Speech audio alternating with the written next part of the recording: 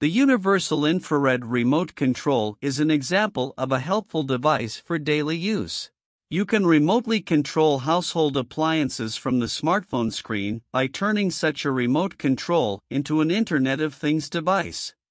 For example, turn on the air conditioner in advance when returning home on a hot summer day. We must first understand the code of the remote control before transmitting.